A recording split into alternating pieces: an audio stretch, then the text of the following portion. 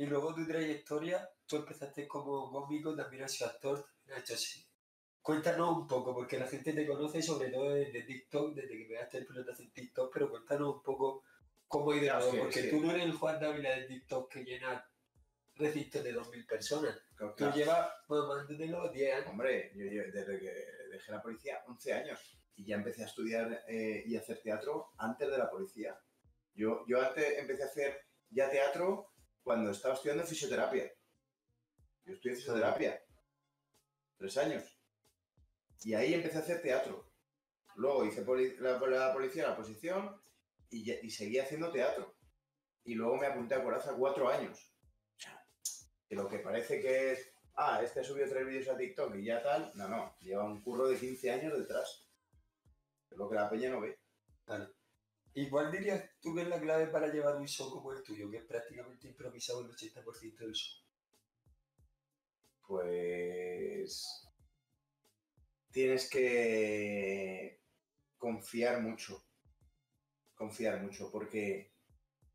Porque.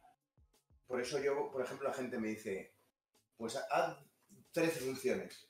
Y digo, a ver, digo, si yo llevase un texto aprendido, te hago 27, porque yo te voy tirando el texto y no me, o sea, me puedo cansar, evidentemente, pero, pero lo tiro 27. Claro. Digo, pero esto tengo que estar a 200. Y, para estar, y no puedo estar a 217 shows.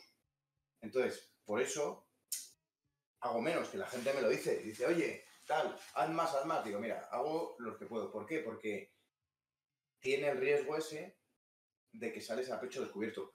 Y la gente se da cuenta. Claro. La gente se da cuenta que, que dice, madre mía, ¿dónde, ¿en qué berenjena se está metiendo este? Y encima dice, la gente dice, a ver cómo sale de aquí A ver cómo lo para. a ver cómo sale. Pero es que yo tampoco sé cómo voy a salir. Porque tú a veces ves cosas improvisadas, pero te lleva hacia un lugar donde hay un cierre cómico. Yo no. Yo me meto en un jardín y en ese jardín vamos a ver. Claro, y depende de la gente. Y depende de la gente, pero, yo no tengo cierres. Claro. No hay chistes. Eso va, va surgiendo.